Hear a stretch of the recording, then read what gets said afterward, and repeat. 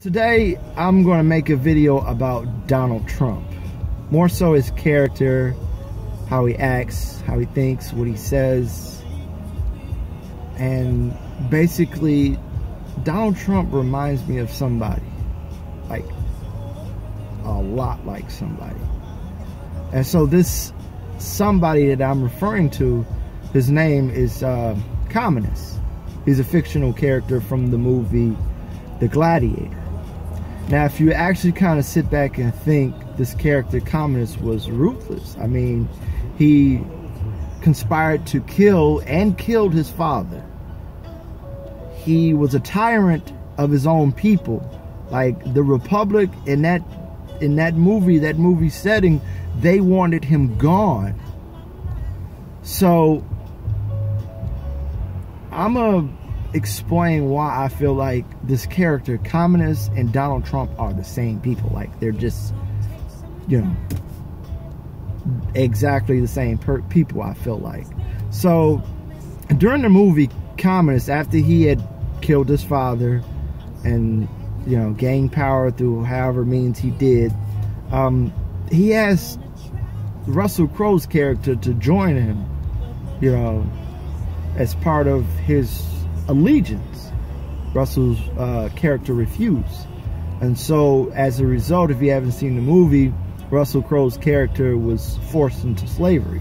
He sold him into slavery, killed his family, sold him into slavery. Now, um, to kind of help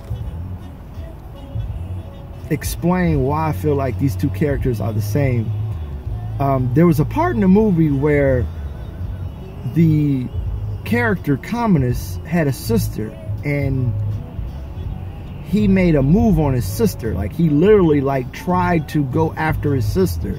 Like literally like and that's no different than what Donald Trump did. He literally like made the statement you know if his daughter wasn't his daughter then he would have like that is some sick stuff to think about.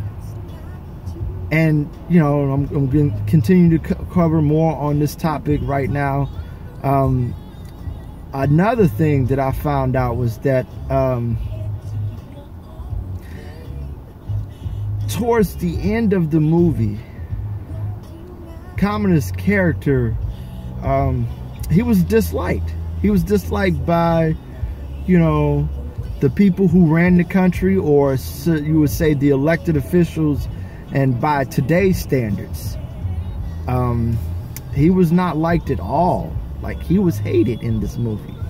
And Donald Trump is a lot the same way. You know, he had a few people, few a few people that followed after this this character Commodus. You know, and even after like the gig was up, you know, they still roll with him. So that's the true saying towards Donald Trump. For the majority of people that live in this country and do, do not like Donald Trump, you know, they're up in arms. You know, look at the Women's March. You know, look at, you know, the turnout at the inauguration of Donald Trump versus Barack Obama's inauguration. You know, the turnout was landslide. It was one-sided.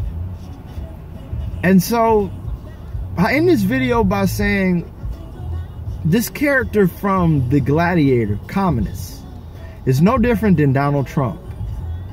He carries the same twisted idea, the same twisted, you know, fascist idea that, you know, I could do this is all, you know, all me, you know, whoever doesn't follow me, you know, you're going to have hell to pay. And I feel sorry for America right now. Like, I live in this country. I was born and raised in this country, but seeing Donald Trump as our president makes me feel like that that character from the gladiator Commodus is our president. And that's a scary thought.